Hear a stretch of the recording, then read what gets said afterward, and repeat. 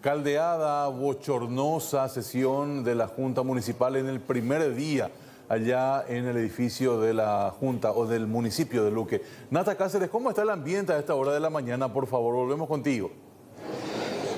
Bueno, prácticamente la sesión ya se disolvió con el juramento del intendente Carlos Echeverría, que fue tomada ya por los concejales, eh, quienes llevaron a cabo este acto en un verdadero eh, y confuso episodio en esta sesión. Recordemos que al comenzar eh, el presidente de la Junta Municipal, el último por lo menos hasta que se haga este traspaso ya de mando, era Diego Romero quien fue reelecto, este concejal, habría solicitado la documentación correspondiente de Rubén González Chávez eh, para poder tomarle el juramento también a él y a todos los concejales.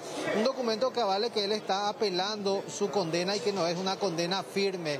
Sin embargo, eh, a raíz de esto, una vez solicitado, eh, finalizó la sesión de la Junta, lo volvió a tomar el vicepresidente de la sesión en ese momento, Félix López, quien se retiró luego de tomarle el juramento a los concejales y allí ellos por mayoría ya nombraron a un nuevo presidente de la Junta Municipal y luego convocaron también entonces al intendente para llevar a cabo su juramento. El intendente decía que se hizo en el marco legal, que si el presidente de la Junta Municipal no quiso tomar el juramento de los concejales, le correspondía entonces al vicepresidente. Por lo tanto, según manifestaba el intendente, se hizo todo en el marco legal.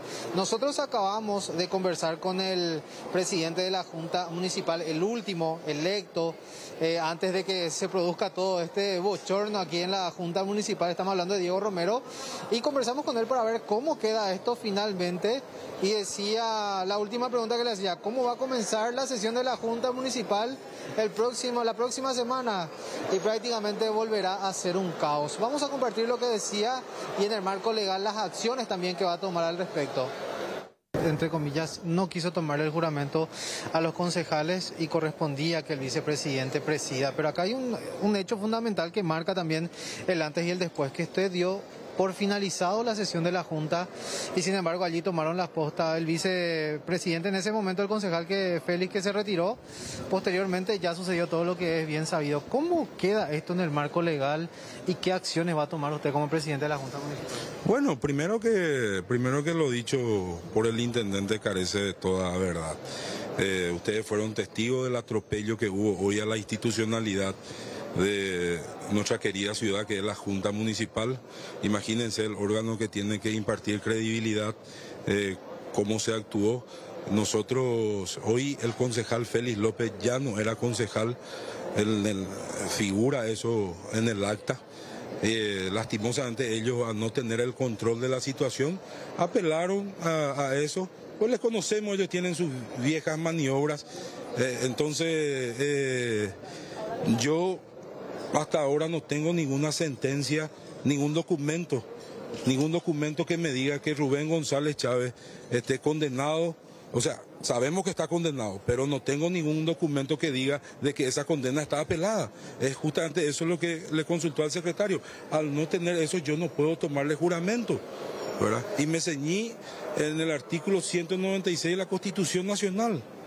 Pero sin embargo, como ellos tienen un acuerdo político, entre ellos, y esto da mucha pena decirle a la sociedad, de que el partido de oposición, los cinco concejales liberales, eh, quienes tenían que velar por la, por, por, la justicia, tenían que velar por el buen funcionamiento de la institución, fueron los más fanáticos en hacerle jurar a alguien que no tenemos ningún documento de su situación procesal. ¿Por qué? Porque negociaron cargos dentro de la municipalidad, direcciones para su gente. A ese nivel estamos hoy en Luque, lastimosamente. Y la oposición hoy surge dentro del Partido Colorado mismo. Nosotros fuimos electos dentro del Partido Colorado. ¿Fue legal o ilegal el juramento de González Chávez? Totalmente ilegal, totalmente ilegal. Lo que hicieron acá fue una payasada terrible, brutal. Con esto no, nosotros vamos a atacar en las instituciones pertinentes, vamos a pedir la nulidad de este acto, porque lo que ellos hicieron no vale, no sirve.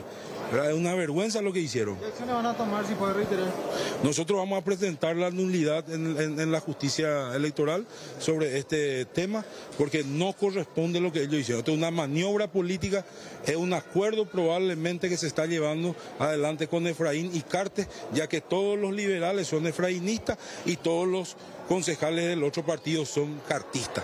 ¿Cómo va a arrancar la sesión de la Junta la semana que viene? Y eh, vamos a tener un presidente Mau, vamos a tener concejales Mau. Esa es la realidad, por el atropello de, de- los nueve concejales que estuvieron aquí presentes. Bueno, es lo que decía Diego Romero, el concejal, el último presidente de la Junta Municipal, antes de que ocurra todo esto. Es su versión, apelará a las instituciones que corresponde, va a presentar una denuncia en el marco jurídico con respecto a todo lo que ha ocurrido, de la forma que se han dado las cosas. Así que evidentemente en la próxima sesión de la Junta Municipal se presentará nuevamente él como presidente de la Junta y ya también en compañía del otro concejal que hoy asumió la presidencia de la Junta. Así que todavía eh, aparentemente habrá confrontaciones para ratos aquí en la ciudad de Luque. Es así, Nata, muchísimas gracias.